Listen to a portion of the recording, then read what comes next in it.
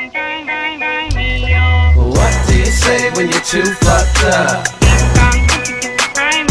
And what your girlfriend say when I smack that butt? Today I'm I'm in a random fucking dorm here in UConn, and whichever door I hear that's lit as fuck, I'm just gonna knock on their door.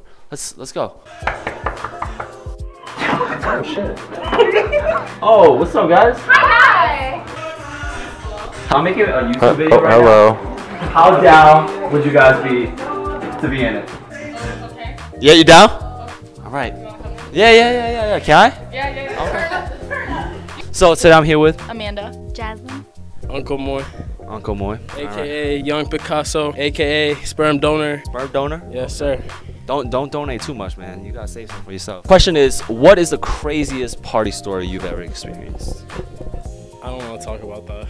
Did you donate sperm at a party? Not at a party. I came to visit last year um, for a darty, and I watched a few people urinate and um shit themselves. You watched it happen. Oh yeah, out in the woods. Some girl. That, has that happened to you? No. You sure? I'm positive. You keep keep yourself together. Yeah. Okay. good. Um, that same day, a kid was passed out bleeding in the woods.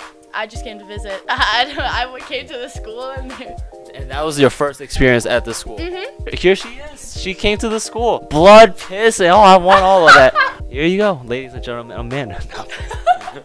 Craziest shit I've seen at a party. I've seen a girl get completely naked. Ooh.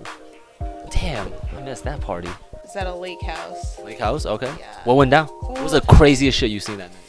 Uh, two girls fighting over a wine bottle and they fell into the lake. That sounds like white people. Yeah, it was. It, was? was, white Okay. people. It was actually a Yale Oh, well- I've seen a girl just fucking blow a guy. Uh, What happened after? I mean, he was The like, situation? He was like, "Thank you for blowing me." He said thank you. Shook her hand, and so the craziest thing I've done is finger bang a girl at a party. What's the craziest thing you've done at a party? Dude, a girl kissed me. She kissed me, bro. Okay, what's the craziest shit you've done at a party? Over what? like fell downstairs and like Yo, she fell downstairs, guys. That shit is crazy. Spring semester, I went to a party at Hilltop Apartments, and me and my friend got fucked. Like, Oh, like up, like got fucked. no, like. Oh, oh, oh, just got Like, fucked fucked up. up. Oh, okay. Describe your uh, a frat party experience. Girls, they get ready in their room, right? You spend like an hour and a half getting ready. You pregame uh-huh. because you're so excited for this night, right? You spend money in an Uber to get to the party. By fucking some miracle, it's not capped or popped. You go in and you basically have to like flaunt your appearance in order to get in. Once you get in, there's literally no God, right? You're like, hi, I'm here. There's no guys except for the frat douchebags, and you don't even know where they are because somehow you're grinding to subpar music and it's only girls. Have you had uh, your fair share of lesbian experience? No, and it's boring. You spend money in an Uber to go home. You spend money on food that you don't really need. You're just Right, right. drunk. Like you, go to bed, you wake up, and you pray you don't have a hangover. Girls like when boys are at parties. We don't want to party with all girls. We like when boys there are too. I promise. What's the one that just happened? Oh my god. Oh. So this was just last week, okay? I had an incredible time at a social and then I went to a different frat. We stayed really late. We were all like pretty sober. I mean, sober enough to drive, my friend was. So we're driving home. It's 3:30 in the morning. So we're driving and we're at the intersection and we had a green light and the only person next to us was a like food delivery car. Like it's three in the morning. No one's out at UConn that that late.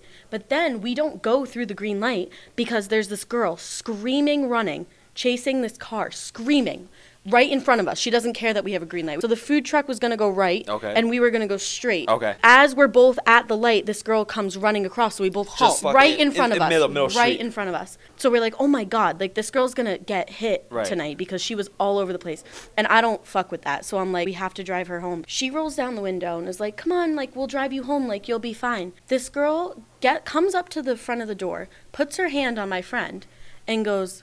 She had an accent. She looked like a student though. Mm-hmm. Which of you is more willing?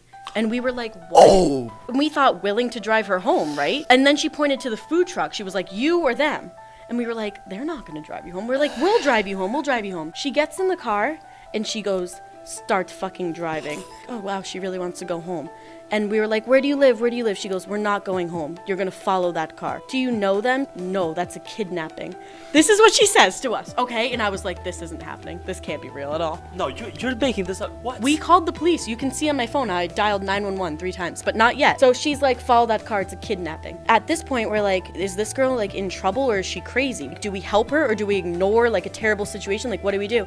So we start following this white car. And it's not like a car chase. Like, if this person really was kidnapping someone, like they were going 10 miles an hour. So we're just following them, following them, following them. They turn right by McMahon up to that parking lot. And they don't park and turn their car off. They just keep it on, lights on, everything. And we're in this car.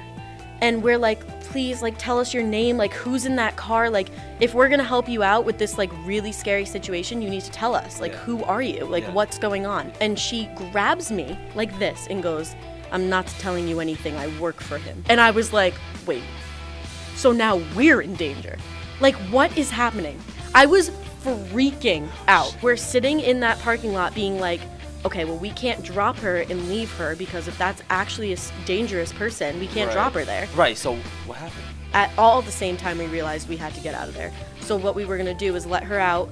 She was like, I need to go get them. I need to go get them. We let her out of the car and she was not urgent at all. She just walked on over to the car, like leaned over the passenger side, just started talking to the guy. Yeah, is that by time you And we left. t- took off? We left and called the police and told them everything. We called the police back in the morning, being like, "We are really concerned that that was like a dangerous situation, was it?"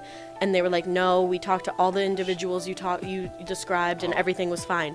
But Shit, what would you guys do in that situation? I'd be so flustered, I wouldn't know what to do. But saving somebody from kidnapping, that's.